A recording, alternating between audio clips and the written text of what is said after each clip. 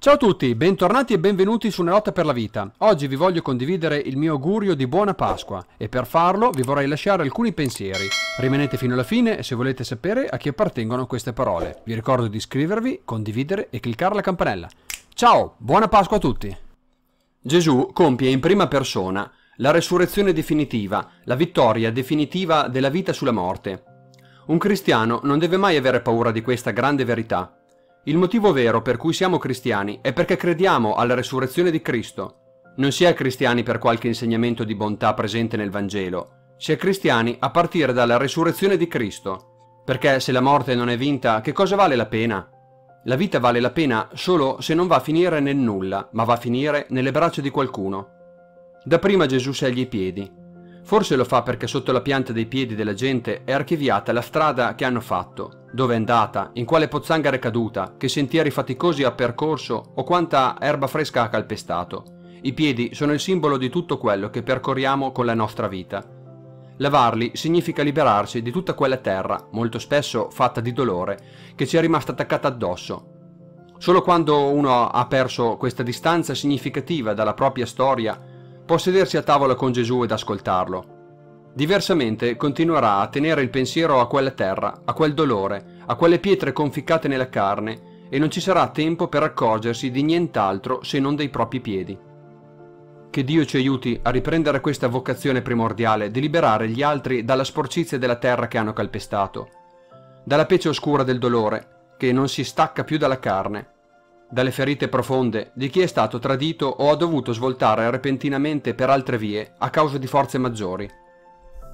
Il dolore toglie le prospettive, prosciuga le speranze e appesantisce anche le cose più semplici.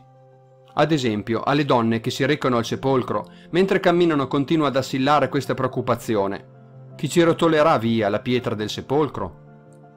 Cito loro perché credo che anche noi siamo nella stessa condizione di queste donne. In questi mesi, afflitti dal coronavirus, ci domandiamo chi ci aiuterà a riprenderci da tutto questo? Sembra sproporzionata la prova che stiamo vivendo rispetto alle nostre forze. Eppure il cristianesimo è nascosto proprio in questa sproporzione. Credere non significa dire di avere le forze necessarie, ma fare memoria che da certi macigni solo la mano di Dio può liberarci. È tutto qui il segreto della Pasqua. Accadrà anche per noi l'esperienza di arrivare faccia a faccia con quel macigno e di accorgerci che è già stato arrotolato via. Il miracolo della fede è coltivare questa misteriosa certezza che non siamo soli, anche quando ci sembra di esserlo. In questo senso la fede ha anche bisogno di una scelta. Non è un'emozione, non è un sentimento, ma è la scelta di fidarsi di un Dio che è nostro Padre e che continua ad esserlo anche quando tutto grida contro di Lui. Solo così la tentazione della disperazione viene messa in minoranza dentro di noi. Ci aspettano giorni difficili, ma non siamo soli. Mai come in questo momento dobbiamo riscoprire il senso della comunità, dell'esserci l'uno per l'altro.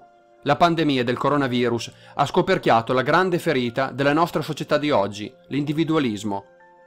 Anche l'individualismo ha bisogno di trovare una cura, un vaccino, ha bisogno di comunità parrocchiali che tornino ad essere comunità e non semplici sportelli di sacramenti, ha bisogno di scuole che educhino anche oltre i confini scolastici, ha bisogno di una città che deve ritrovare il suo centro oltre i semplici eventi mondani, in quell'attenzione agli ultimi, a chi non ha lavoro, a chi è in difficoltà, a chi ha perso tutto. La fede in Gesù la si consuma solo a vicenda e mai nella solitudine. Solo insieme ritroveremo la strada giusta e allora le nostre processioni e le nostre feste non saranno più nostalgiche sagre in via d'estinzione. Le nostre piazze e i nostri luoghi di aggregazione non saranno più parcheggi per la noia dei giovani, L'impegno politico e quello sociale non saranno più visti con occhi di sospetto, ma come logiche di servizio. La Pasqua è un dono, ma anche una scelta.